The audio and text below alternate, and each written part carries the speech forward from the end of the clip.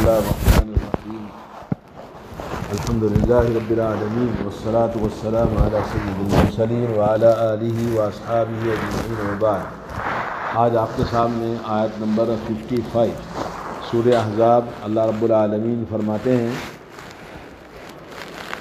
आयत नंबर 55 में जिसमें पर्दे के अहकाम का ज़िक्र है क्योंकि इससे पहले पर्दे का हुक्म नाजिल हुआ जैसे कि अल्लाह के नबी सल्लल्लाहु अलैहि वसल्लम की बीवियों के बारे में अल्लाह तबारक ताली से पर्दे के हुक्म के सिलसिले में जो आयत आपको बताई थी, आज आपका उसका ख़ुलासा।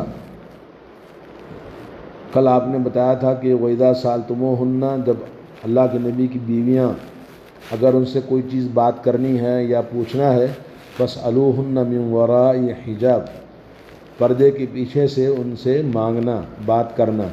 दालिकुम अतहरक़लूबिकुम व क़लूबिहिन्न ये तुम्हारे लिए और उनके दिलों के लिए, तुम्हारे दिलों के लिए और उनके दिलों के लिए ज़्यादा पाकिज़ा है। उमा कान लकुम अंतु रसूल अल्लाह और कोई भी बद अखलाक़ी रसूलुल्लाह सल्लल्लाहु की बीवियों के साथ करना रसूलुल्लाह सल्लल्लाहु को तकलीफ़ पहुँचती है, जो तुम्हारे लिए हलाल नहीं, हराम है। वला अन तन के हो अजवादबाद ही अबदा। नबी के मरने के बाद कोई आदमी इरादा ना करे कि नबी की किसी बीवी से शादी करें, क्योंकि ये तुम्हारी माएँ हैं और उम्मत की माएँ हैं। वाजवाज हो उम्मात तुम्हारी माएँ हैं तो उनके साथ में क़ियामत तक कोई भी उनके साथ शादी का बात नहीं कर सकता। माँ की तरह एहतराम करना, माँ की तरह इज़्ज़त करना और उनका मुकाम और मरतबा अल्लाह ने माँ का दर्जा दिया है। इन नज़ालिकुम कान अज़ीमा अल्लाह ताला के नज़दीक कोई बद अखलाक़ी, बद किरदारी, बड़ा ही गुनाह और बहुत ही अजीम बात है। अब उसके बाद में आज जो आयत नंबर फिफ्टी फाइव जिसमें अल्लाह ताला ने फरमाया कि, ला अलैहिन्न फ़ी आबाइहिन्न वला अबनाइहिन्न वला इखवानिहिन्न, वला अबनाई इखवानिहिन्न, वला अबनाई अखवातिहिन्न, वला निसाइहिन्न, वला मा मलकत ऐमानुहुन्न वत्तकीन अल्लाह इन अल्लाह कान अला कुल्ल शैइन शहीदा। इस आयत में अल्लाह ताला ने फरमाया, औरतों पर कोई पकड़ नहीं कोई पाबंदी नहीं है, औरतें उनके लिए जायज़ है। क्या करना? अपना हिजाब निकालना। हिजाब से मुराद, चेहरा है, हाथ हैं और बस इतना ही है। ये आप खोल सकते हैं। किन के सामने? अल्लाह ने बयान कर दिया। ये आठ हैं जो रिश्ते, खूनी रिश्ता है, ससुराली रिश्ता है, या एक ननियाली रिश्ता है। ये तमाम आठ रिश्ते हैं जिनसे आप पर्दा नहीं कर सकते और वो आपके लिए महरम है। महरम किसे कहते हैं? महरम वो है जिसके साथ आपकी शादी क़ियामत तक नहीं हो सकती। आपके लिए कभी भी रिश्ता नहीं हो सकता है। ऐसे लोगों को महरम कहते हैं। तो अल्लाह ताला ने फरमाया, तुम्हारे ऊपर कोई पाबंदी नहीं है कि आप अपना हिजाब खोल सकती हैं। इनके सामने सबसे पहले अपने बाप। जो तो शोहर है। उसके लिए अल्लाह ने फरमाया, हन्ना लिबासुल्लकुम अंतुम लिबासुल्लहन्न शोहर और मियाँ बीवी क्या है? एक दूसरे का लिबास हैं। उनके लिए सब हलाल है। लेकिन इसके अलावा पर्दा जहाँ तक हिजाब का मसला है तो अल्लाह ने बताया कि अपने बाप के सामने आप हिजाब खोल सकती हैं। और नंबर दो है, अपने बेटे, अपने बेटों के सामने पर्दा नहीं करना है। और नंबर तीन है, भाई। नंबर चार है, भाई की औलाद। यानी भाई की औलाद क्या है? भतीजे, जिनको फूफी लगती है। जी। वला अबनाई अखवात हिन्ना और अपनी बहनों के बच्चे। अपनी बहनों के बच्चे क्या होते हैं? खाला। जी। वला निसाइहिन्ना, और इसी तरह घर की जो औरतें हैं, दूसरी खादिमा है, नौकरानी है, लौंडियाँ हैं और वलामा मलकत ऐमान हन्ना और लौंडियों के सामने आप पर पाबंदी नहीं है और घर की औरतों के सामने भी आप पर पाबंदी नहीं वत्तकीन अल्लाह अल्लाह ताला से डरो। इन अल्लाह कान अला कुल्ल शैन शहीदा। बेशक अल्लाह ताला हर चीज़ का निगहबान और निगरान है। अल्लाह रब्बुल आलमीन सब देख रहा है और सब जान रहा है। अब इसके बाद में आपको बताऊँ सूर्य नूर में आयत नंबर थर्टी वन। जिसमें अल्लाह तबारक ताली ने आयत के अहकाम बताए पर्दे के अहकाम, हिजाब के अहकाम अल्लाह ताला ने उसमें बताया था। जिसमें अल्लाह ताला ने फरमाया था कि आप कह दीजिए मोमिन औरतों से कि अपनी निगाहों यकदुदन मिन कुल वकुल्लिलमुमिनाती यकदुदन मिन आप कह दीजिए मोमिन औरतों से कि अपनी निगाहें नीची रखें वहफ़ न फ़रूजहन्ना और अपनी शर्मगाहों की हिफाजत करें और अपनी ज़ेब ज़ीनत को, वला युद्दीन जीनत हन्ना जीनत को ज़ाहिर ना करें, इल्ला मादाहरा मगर जो चीज़ ज़ाहिर हो जाए। ज़ाहिर हो जाए यानी चेहरा है, हाथ है, हाथ की चूड़ियाँ हैं या पैर के, वो, पैर के खुले हैं, जैसे काम करने के दौरान घर में औरत आती और जाती है। तो ये चीज़ जायज़ है। वलियादरी बना बिखुमरिहन अला जुयूबिहन औरतों को चाहिए कि अपने सीनों पर कपड़ा दुपट्टा डाल के रखें। और ओढ़नी दुपट्टा असल चीज़ है, चेहरा और उसके चेहरे के बाज बगल में सीना है और गर्दन है और गर्दन के पास जो जेवर है, कान का जेवर है तो आदमी निगाह मर्द की जब पड़ती है तो इन्हीं चीज़ों पर पड़ती है। तो इसलिए अपने सीनों पर, अपने आप पर पर्दे में रखें और ज़ाहिर ना करें।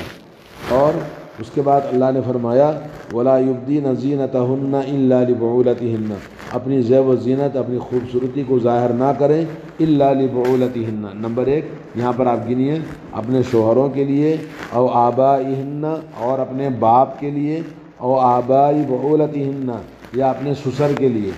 ससुर भी क्या है? महरम है। औ अबनाइहिन्ना, नंबर चार है अपने बेटों के सामने। नंबर पाँच है औ अबनाई बऊलतिहिन्ना या ये कि अपने शोहरों की औलाद। यानि किसी औरत ने किसी मर्द से दूसरी शादी कर ली तो या दूसरे मर्द से जो शादी की है, उसकी औलाद पहले से है। उसके बेटे हैं या उसके जो भी बच्चे हैं, इसके लिए क्या बन जाएँगे? अपने सगे बेटों की तरह बन जाएँगे। तो उनसे भी पर्दा नहीं है। और इखवान हिन्ना नंबर छः भाइयों से। और बनी इखवान हिन्ना और अपने भाइयों की औलाद से। और बनी अखवात हिन्ना नंबर आठ है, अपने बहनों के औलाद, यानि खाला, अपने भाइयों से, ये आठ हैं। उसके बाद अवनिसा हिन्ना नंबर नौ औरतों से जो औरतें के अपनी जैसे मुसलमान मोमिन औरतें हैं, घर में आती जाती हैं, रिश्तेदारियाँ हैं तो उनसे भी आप पर्दा नहीं करेंगे। औ, उमा, औ मामलकत ईमान हन्ना नंबर दस, वो जो लौंडियाँ हैं आपकी, उनसे भी पर्दा नहीं है।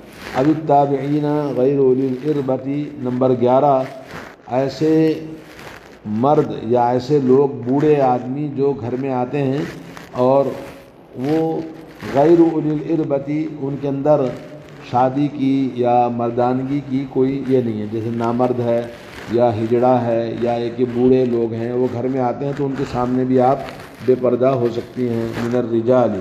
अबितफ़िलदीन अलम यजहरू अला औरातसा नंबर बारह, उन बच्चों को भी आप अपने सामने बेपर्दा हो सकती हैं, जिन बच्चों को अभी औरतों की पोशीदा चीज़ों का पता नहीं है। औरतें की जो खसूसियात हैं, औरतों को देखना, औरतों के बारे में जानकारी करना तो ये आजकल जो मॉडर्न ज़िंदगी हमारी बनी है, जिस मोबाइल की वजह से पाँच छः साल के बच्चे ही इश्क मुआशका और इस तरह की औरतों को तकना, औरतों के जो सिंसियर चीज़ें हैं, उसके बारे में उनको वाकिफियत हो गई है। तो ऐसे बच्चों के सामने जो मोहल्ले में शरीर बच्चे हैं बच्चे समझकर उनके सामने आप बाहर नहीं, बेपर्दा नहीं होना चाहिए। वला यबना बर्जुलहन्ना लियोलम माफ़ीन मिन जीनतहन्ना।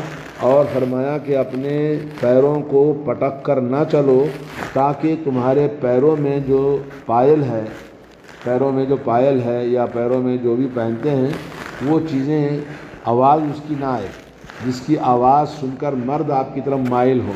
तो ये भी नहीं पहनना चाहिए। वतूब ज़मीन अय मोमिनों क्योंकि मोमिन मर्द, मोमिन औरतें दोनों मुखातब हैं, लेकिन मर्द ज़िम्मेदार है जो बेपर्दा कराता है। तो इसलिए अल्लाह ने कहा ए मोमिनों अपनी औरतों की बद अखलाक़ी के आप ज़िम्मेदार हैं। आपने उनको बेपर्दा कराया, आपने उनको इजाज़त दी है। तो सब के सब तोबा करो बारगाह रब्बुल में लाल लकुम तुफलिहून, ताकि तुम कामयाब हो जाओ। तो इस तरह से आयत पर्दा, ये जो अभी आपने आयत नंबर फिफ्टी फाइव आपने सुना, और आपको एक बात बता दूँ कि जिसमें हज़रत उमर रदी अल्लाह तु जिसको अल्लाह ताला ने कुरान मजीद में नाजिल फरमाया कि हज़रत उमर रदी अल्लाह तु ने अल्लाह के नबी सल्लल्लाहु अलैहि वसल्लम से कहा कि अल्लाह ताला अल्लाह के नबी की बीवियों के बारे में पर्दे का हुक्म क्यों नाजिल नहीं करता? क्योंकि कोई भी छोटा, बड़ा, हर आदमी घर में आ जाता है, नबी की बीवियों को देखता अच्छा नहीं लगता।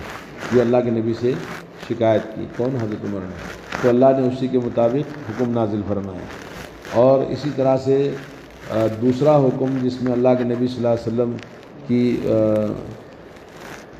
अल्लाह, हज़रत उमर के चाहत के मुताबिक अल्लाह ताला ने ये नाजिल फरमाया, उसमें से तीन चीज़ें हैं। एक तो पर्दे का हुक्म है और दूसरा शराब के बारे में भी उन्होंने कहा कि अल्लाह ताला फैसला क्यों नहीं कर देता कि हमारे लिए शराब जो है बिल्कुल हराम है।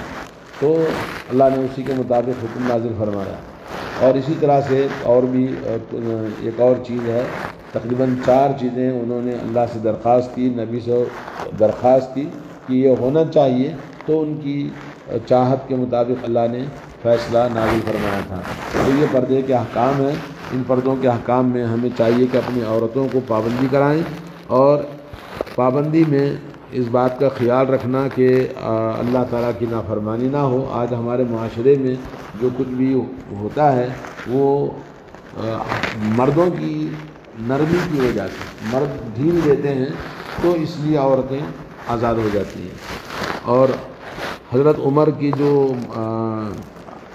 चार चीज़ें जो हज़रत उमर के चाहत और दरख्वास्त के मुताबिक अल्लाह ने नाजिल फरमाया, उनमें से एक मुकाम इब्राहिम कि हज़रत उमर ने कहा, या रसोल्ला मुकाम इब्राहिम को हमारा मुसल्ला बनाए। तो अल्लाह ताला ने उतखदो मुकाम इब्राहिम मुसल्ला। तो मुकाम इब्राहिम को अल्लाह ने मुसल्ला बनाया, हज़रत उमर के दरख्वास्त पर। नंबर दो, ये जो पर्दे के बारे में। और नंबर तीन है कि शराब के बयान के बारे में कि शराब हुक्म शाफ़ी अल्लाह ताला नाजिल फरमा दे। और नंबर चार है कि बदर के कैदियों को हज़रत उमर ने कहा कि इनको पैसा लेके रिहा मत कीजिए, इनको कत्ल कर दीजिए। और ये कत्ल कैसे करना है?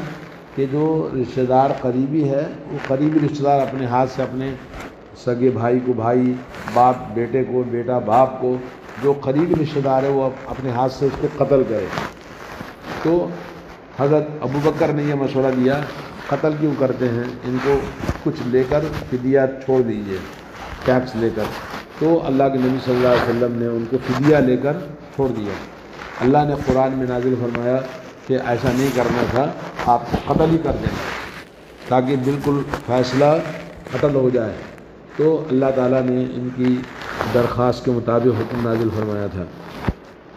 हज़रत ज़ैनब की शादी सन पाँच हिजरी ज़िलक़ादा में हुई थी, जंग अहज़ाब के बाद में, और उसके बाद ये पर्दे का हुक्म नाजिल हुआ, और ये पर्दे के अहकाम के बारे में आयत नंबर 55 सूर अहज़ाब, और आयत नंबर 31 ये अपनी औरतों को या किसी को हम बताना चाहते हैं तो देखो कुरान के अंदर अल्लाह ताला ने ये हुक्म दिया है, हम बता सकते हैं।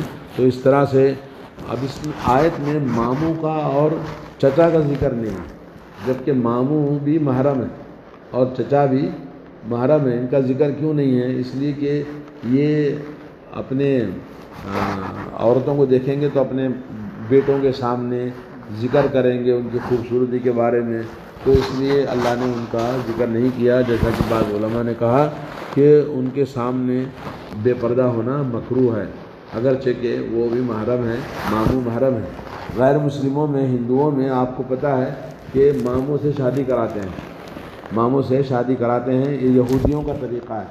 यहूदी अपने भांजी से शादी करता है, वैसे ही यह हिंदुओं के अंदर, ब्राह्मणों के अंदर मामों से शादी करना सबसे अच्छा रिश्ता माना जाता है। तो इस तरह से ये कुछ बात है जिसकी वजह से अल्लाह ने मामू और चचा का ज़िक्र नहीं किया है। और बाकी जो महरम आपके सामने आठ का ज़िक्र हुआ है और कभी याद आए, मौका मिले तो सूर्य नूर की आयत नंबर थर्टी वन और सूर्य हजाब की आयत नंबर फिफ्टी फाइव याद रखना और उसके बाद आप देखकर किसी को भी हम बता सकते हैं, अपनी तरफ़ से नहीं, कुरान का हुक्म। है तो इस तरह से हमें तालीम देना चाहिए, दावत देना चाहिए, अपनी औरतों पर पाबंदी करनी चाहिए, जैसे कि अल्लाह ने कहा मोमिनो, तुम सब के सब तौबा करो। मोमिन मर्द ही ऐसा बिगाड़ता है अपनी बीवी को, बिगाड़ता है अपनी बहनों को, बिगाड़ता है अपनी बेटी को। अगर मर्द बाप, भाई या एक शोहर अगर अपने कंट्रोल में रखे तो फिर ऐसी गलती नहीं होती जो आज हमारे माशरे में बहुत ज़्यादा लूज़ है।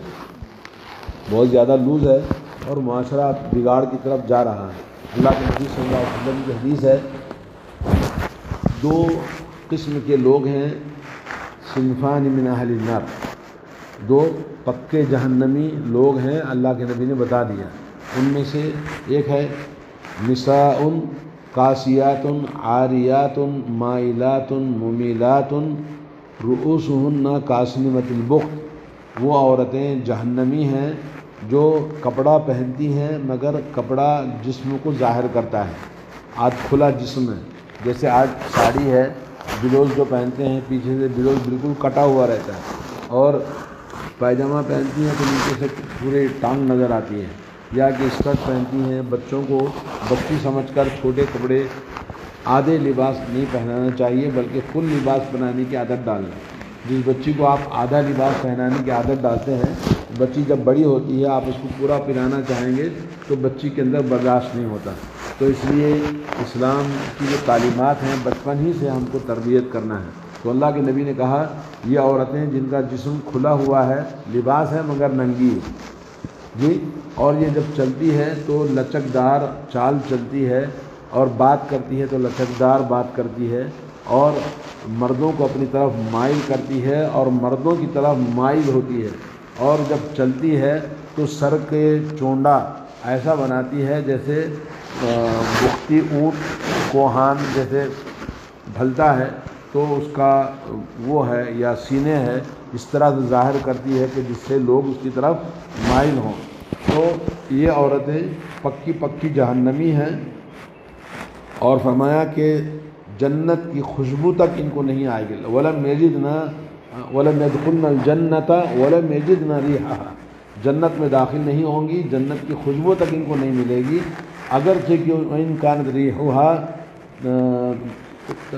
तज मसीरत कदा व कदा यानी जन्नत की खुशबू इतनी इतनी दूर तक आती रहेगी, मगर इनको खुशबू तक भी नसीब नहीं होगी जो औरतें इस तरह से होंगी। तो इस तरह से अल्लाह ताला ने, अल्लाह के रसूल ने बड़ी पाबंदी लगाई है।